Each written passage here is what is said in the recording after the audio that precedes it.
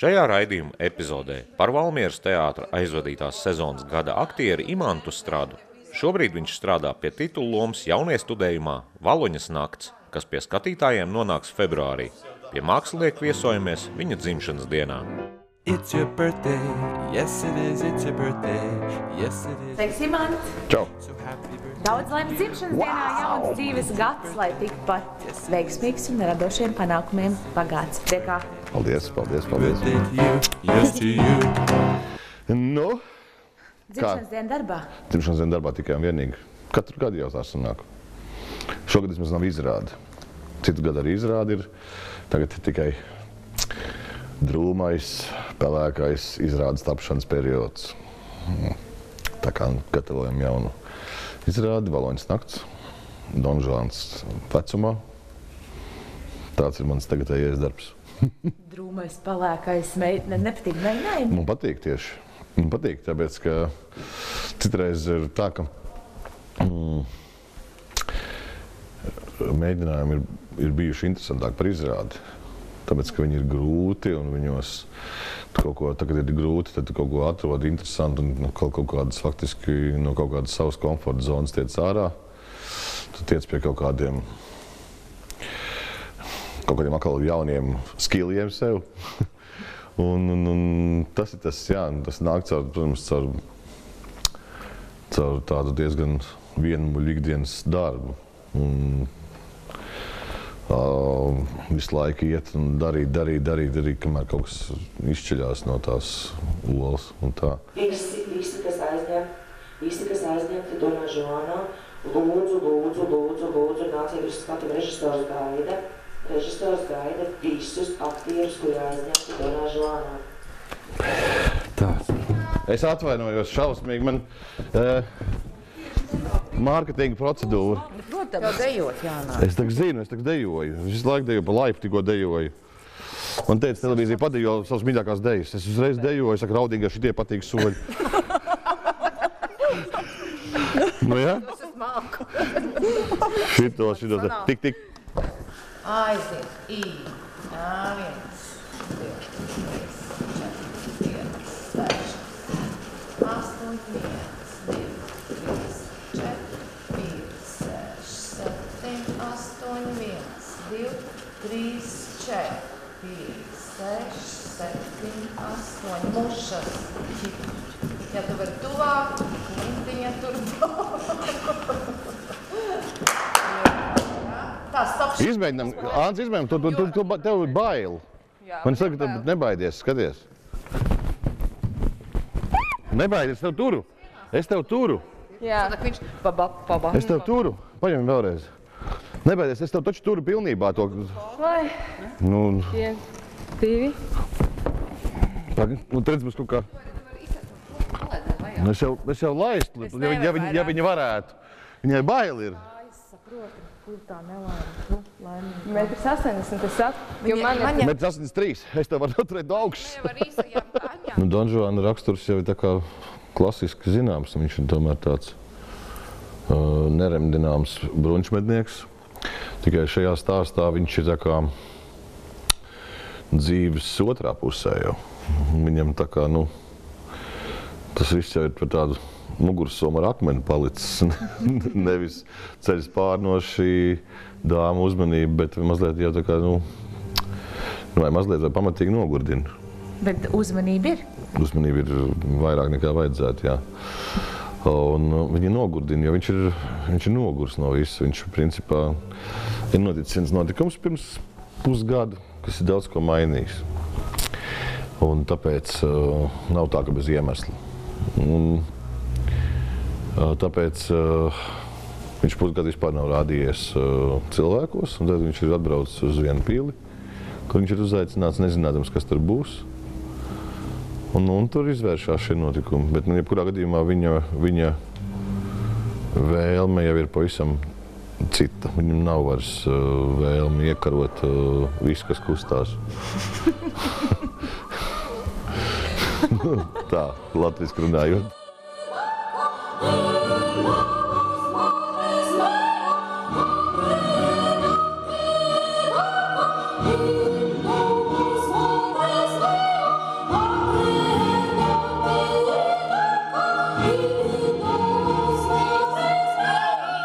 Nu, Tieši man interesanti, es stājos savulaik Kultūras akadēmijas Nacionālā teātra kursā. Tik līdz pēdējā kārtā, pēdējā kārtā bija kolokvijas un dēja.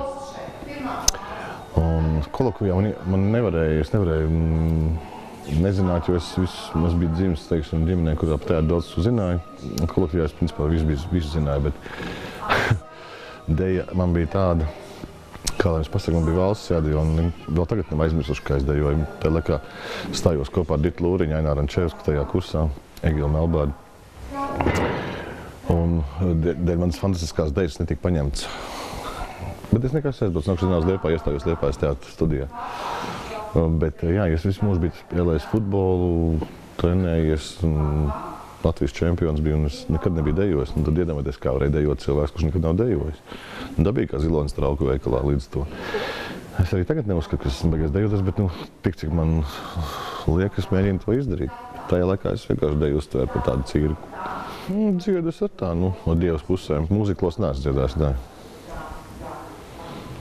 Nu, tas man netraucē uzstāties ar solo programmām, kur, nu, ne solo, bet, teiksim, ar ģitāru rāviņu kopā, kur mēs esat? Un tas jau nav nekas tāds, nu, nav nekāds tāds nu, melodeklamēt un rečitatīvā uzstāties, jo es varu. Un es nevaru, teiksim, būt kaut kādā tur tādā mm, baigās notīs. Un tā jau nav, ka es ritmu es jūtu, es nekad nejūtu. Dažreiz bl- blakus dots. Tā.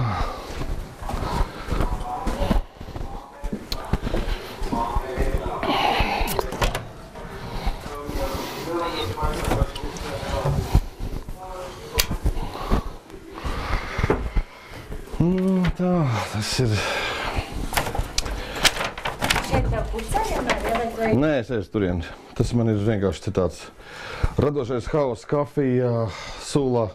balsams. Tas ir tikšana uzdāvināts un liķie konfektīts un tāds vārdā, ka tā man gan ir no decembra.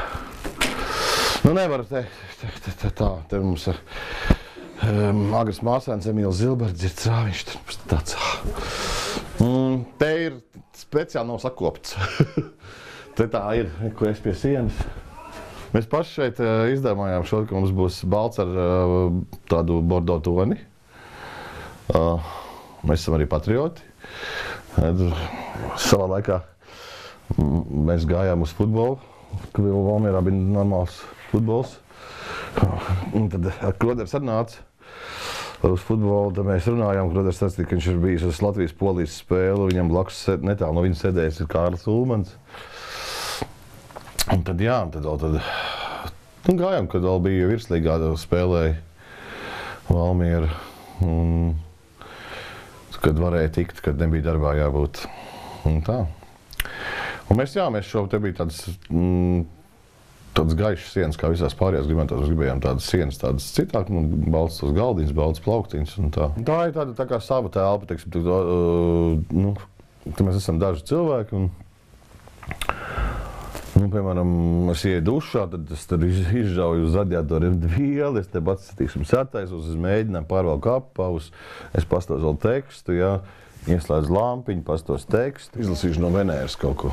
Tātad es biju neciešams bērns, niķīgs kā zīdens un savu vecāku izlaists, pavadījis savas dienas bibliotekā, trenkājot savus kalpotājus un kaķi. Kādu dienu pirms ciemos ieradās tante.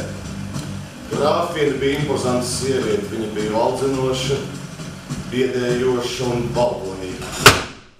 Tā ir viena izrāde, kur saglabājot visus režisorus norādījumus, var, var vienkārši kolosāli nu, noķert baudu spēlējot. Jo tur ir tik dažādi, tur tāda amerikāņu kalniņa visu laiku sanāk. Divas lomas katram jāspēlē. Mēs esam divi cilvēki, mums spēlējam divas lomas. it Kā, uh, to, kas mēs esam paši, un to, kas ir rakstīts, ko mēs it kā. Nu, Un līdz ar to baigi, baigi interesanti un baigi tā, it kā pusotra stunda pašiem paiet dažreiz tā, ka vienkārši liekas, ka vienā mirklī. Un tāpēc tā Venēra ir tāda, viņa, viņa, viņa arī ļoti labi ņem skatītāju pagaidām. Nu, prieks, jo diezgan grūti mums gāja, un bija, man bija vēl bija divas vai pat trīs filmēšanas vietas paralēli šiem mēģinājumiem, un arī Ingai bija no šiem te projektiem trījiem, viņa bija uh, arī visos trijos. Attiecīgi sanāca tā, ka, bet, bet var teikt, ka mēs nekur nebijām kopā. Mēs bijām vienā no tiem trījiem projektiem kopā vienā epizodē. Attiecīgi, ja divi cilvēki mēģina Un, ja katram ir atsevišķi filmēšanas, tad vai nu viņi netiek, vai es netieku. Un tā visu laiku. Un, um, um, un vēl divi cilvēki izrāda paralēli jāuzstājas, jā, diezgan īsā laikā. Un, un daudz teksta, it kā un tā, bet kaut kā beigās viss izdevās.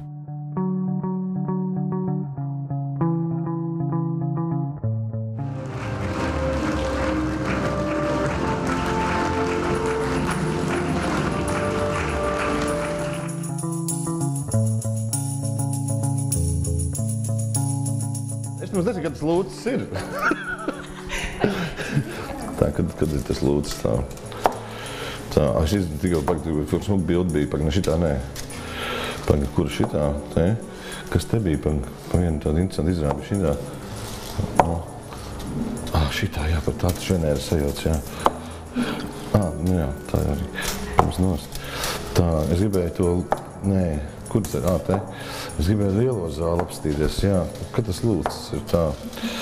Pagaidām, nu. Lūdzas te. Ah, re, kur ir? Mhm. Nu, jā, re. Nu, re. Pēters Lūcis, jā. Tā. Galdi, jā. Es laika biedri. Uzacis, pasties, cik kuplis. Ivo vēl ar mežstrādnieku vārdu. Pārmaiņas, bet tā daudz stundas grimē. O, jā. Tas daudz tiešām. Tas ir, uh, un vēl pēc tam stundu nost jāņem. Jo var, to silikonu jau var noplēst nost, bet uh, silikons pie sejas turās ar līmu, un to līmu dabūt nost ar speciāli tādu eļļu vajag diezgan ilgi berst. Dažreiz liekas, ka izberzīs caurumu. Bet uh, lūdzas nozīmīgi loma šogad gada aktiera. Tituls, nu, Nu, jā, tā jau sanāk kā, bet um, nu, baigi jau bija riskanti. Toreiz likās baigi jocīgi, kā tad tagad, kā, kā tas būs. Un priekš, ka gan cilvēki, gan um, kolēģi, gan skatītāji pieņēma. un Tas tāds negaidīts moments, jo īstenībā tas bija ļoti, ļoti riskanti. Ne katru reizi ar šādām te mm, reālām personām var trāpīt un iziet ārā sausām kājām no tādas uzdevuma. Kaut kā paveicās. Bet uh, šis skatītāju novērtējums un kolēģi novērtējums jau noteikti apliecina, ka ir izdevies. Nu, pats es vienmēr gribētu vairāk, neapšaubām, noteikti gribētu vairāk. Bet uh, prieks par to, kā ir. Bet uh, es nevaru tā teikt, ka jā, es esmu pilnīgi apmierināts. Es gribētu to vairākas nianses būt, uh, būt piestrādājis, lai um, vēl precīzāk varbūt. Un, Bet arī jau grūti tas, ka mēs it kā lēkājam tajos gados, bet vizuāli es esmu vienā vecumā. Un, kā mēs vēl tiem notikumiem tajā dzīvē ir no, no, no, teiksim, no kaut kādiem 40 līdz tiem 70. Jā, bet es spēlēju vizuāli jau visu laiku 70. Un tāpēc varbūt man sajūta, ka es neesmu visu laiku pietiekami vecs, bet, bet viņš jau, nu, Nu, līdz ar to es teiksim, tā arī uh, viennozīmīgi to nevaru spriest. Pat pats neesmu redzējis, ko var teikt. Pats neesmu redzējis, līdz ar to mm, man nav arī ko teikt pašam. Nu, man patīk spēlēt to izrādi. Tur ir kaut kāds tāds sirsnīgs moments pret uh, Valmieras teātra uh, vēsturi, pret tradīcijām, kas šeit ir bijušas, pret visu to, par, to, par tiem cilvēkiem, kas tagad, kur daļu arī es esmu jau paspējis, kā saka, iznest uz pleciem uh, mūžībā. Un, un, un vēl daudz cilvēku, kas ir pirms tam bijuši, kas ir, nu, mēs jau esam visi tikai kaut kādā ķēdē posmā. Mm, šobrīd ir mūsu laiks, mūsu posms. Līdztekus darbam teātrī Imantu Stradu bieži redzam arī uz kino ekrāniem. Pavisam drīz skatītāju vērtējumam tiks nodotas divas jaunas filmas – Klases salidojums un Vecā dārza noslēpums. Tas esi tu? Jā. Un krāsot matu, krāsot bārdu. Kāda loma bija šajā filmā? Nu, mēs esam tā kā sliktie. Tāda, tāda pajolīga sliktie. Tas tev. Jā, es visu zinu. par tādu vīrieti priecātos jebkura sieviete. Tu par sevi runā, vai? Es nepārdošu māju. Tas jānosargā mums pašiem. Mēs pretosimies kārmam. Super. Ģimenes filma, mm, kur tika filmēta sākotnēji kā četru sēriju televīzijas seriāls. Mēs, mēs tā sapratām visi. Un Tad viņi tika samontēti arī kā filma. Un tagad ir uh, filmetrāžas mākslas filma ģimenēm. Vecā dārza noslēpums filmējām mm, augusta beigās, septembra sākumā Ogrē. Tur bija tāda interesanta lokācija, viena tāda veca māja Latvijas laika, tāda īpatnēja. Un apkārt reāls deviņas stāviņu mikrorajons.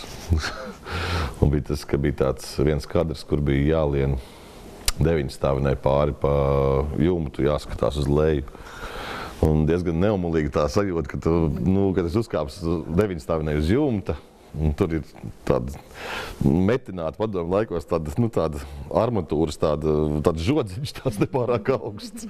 Un tad pie viņa tu tā kā turies, tu nezini, kā tas metinātājs ir bijis pilā vai ne, kā viņš ir piemetinājis toreiz uz tiem kādiem 30, 40 gadiem to sūdi, ja, no, nu, to, to, to stiepli. Un, un tad pie viņas turies, un tev reāli, nu, šī tik tālu, tu esi pāri, tai deviņas stāvnē pārliecies, lai tev kameru no lejas varētu nofilmēt, lai tev var redzēt. Tas bija tajā laupītāju zagļu ainā. Nu, mēs tur no augšas it kā vērojām to dārzu. Jā. Kā jūs, ā, Mm, ja mēs tur esam tādi, nu, tā kā, nu, negribam salīdzināt viens pats mājās, bet nu, tur arī bija, teiksim, tie zagļi bija tādi, nu, vairāk, teiksim, smieklīgi nekā ļauni. Ja? Nu, tad mēs arī esam nu, tādi, ar Armānu Bērģi esam divi tādi, nu, ne, ne tik daudz ļauni, cik varbūt stulbi. Viņi bija mitrie bandīti. Jā, viņi bija mitrie, mēs par to runājam, mēs varētu būt sausie. Tad, kad jums būs 40 gadi, jums būs pliks pauris, jūs pakaļ izskatīsies pēc lietotas teijas maisiņa. Jūs skatīsieties spoguli un domāsiet, kas tas par veču kolūru jums pretī. Scenārijs brīnišķīgs, tāpēc, ka kaut kur lasīju, ka viņi 11. gadā ir vispār kaut kādā Ziemeļvalstu filmu festivālā dabūjusi par labāko scenāriju. Attiecīgi, nu, tad dinamika es nezinu, kāda būs. Es pats neesmu redzējis neko.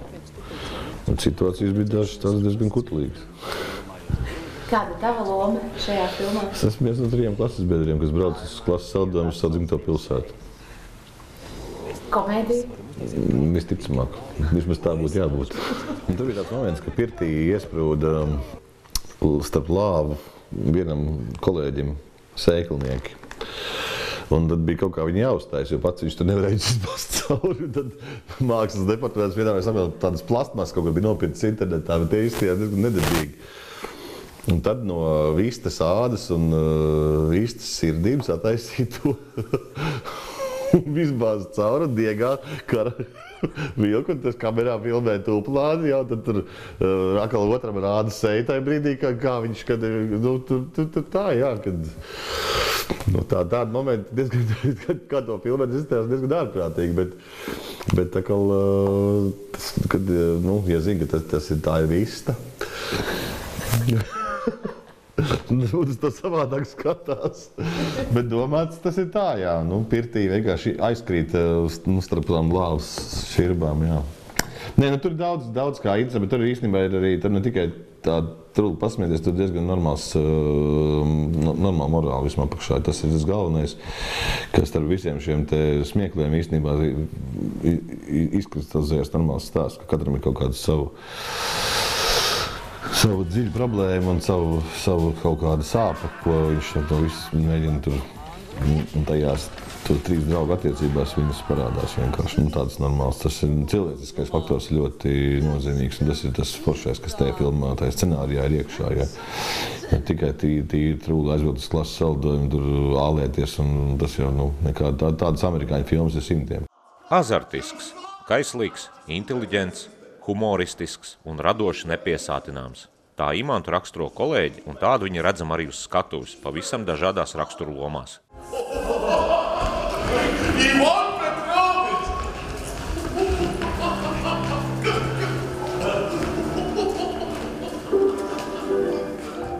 Es vienkārši esmu dzīvespriecīgs cilvēks.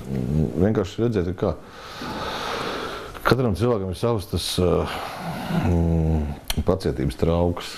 Mm, vienam viņš ir lielāks, vienam viņš ir maziņš, vienam ir vispār vanna, vienam ir mēģene. Man ir kā viņš paliels. Dabīgi es arī eju pāri malām, bet, bet tā paliels. Un tā kā man liekas, ka tas, um,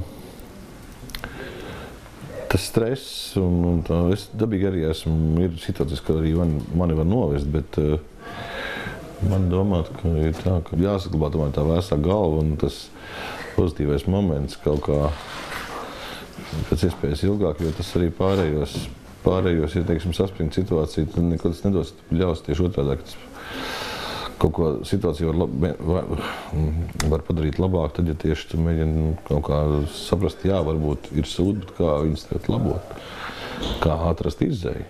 Nevis uh, turpinot uh, paniku, histēriju vai bļaušanu, bet meklēt izēju. Nezinu, tas man tāds moto.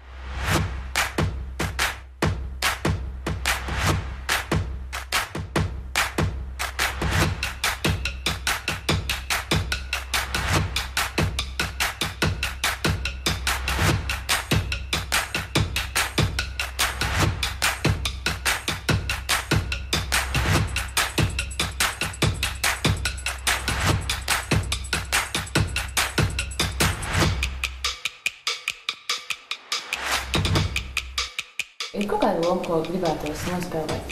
Nē. Nav. Tas ir saprotu, kas ir pats interesantākais. Šo jautājumu diezgan bieži uzdod. Un Vienkāršākais ir atbildēt tas, ka uh, viss neparastākā, negaidītākā, viss n- vienkārši kaut kāda ierindas loma var, var pēkšņi palikt par vissvarīgāko, varbūt, kas tev mūžā ir bijusi. Tu nekad nezini, kāds būs iestudējums, un tur sasapņoties, spēlēt kaut kādu, nezinu, tur Richardu trešo vai ko, un tad tu ir tāds sūds, ka tas tam tev kauns, jau visu mūžu, ka tu, un tev sapņi sabrukuši, tu neko vairs negribi, bet kam to vajag? Tas nav vajadzīgs.